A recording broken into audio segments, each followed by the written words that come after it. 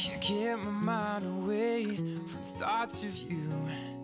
Two weeks ago today, you were just the girl I drew. And now I think it's time that we decide.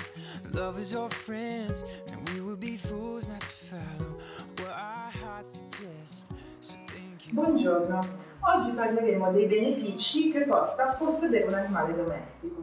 Prima di tutto è importante fare una premessa, perché bisogna fare questa scelta con consapevolezza e quindi bisogna ponderarla con attenzione, perché prendere un cane o un gatto a casa con sé vuol dire prendere la responsabilità di un altro essere vivente per tutta la durata della sua vita. Passiamo quindi ai benefici che questa scelta comporta. È scientificamente provato che accarezzare un cane o un gatto abbassa la pressione sanguigna perché rilassa la persona, quindi avremo meno problemi cardiovascolari. I cani, soprattutto, sono degli ottimi osservatori e sentono le variazioni di comportamento prima di noi e per cui fungeranno da ottimi segnali precoci in presenza di crisi epilettiche.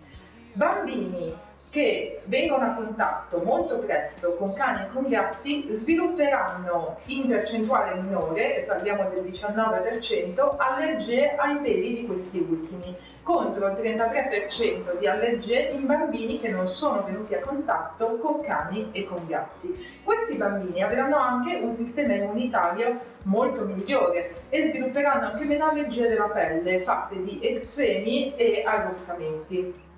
Portare l'animale in passeggiata migliora molto la propria forma fisica e questi animali oltretutto fungono anche da ottimi antidepressivi, infatti il proprietario sente meno la solitudine ed elabora prima i lutti.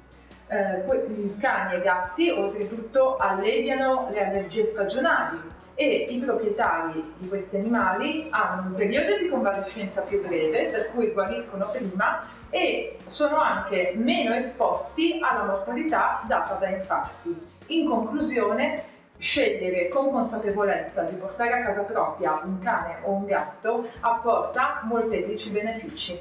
Grazie per l'attenzione e al prossimo consiglio del tuo veterinario.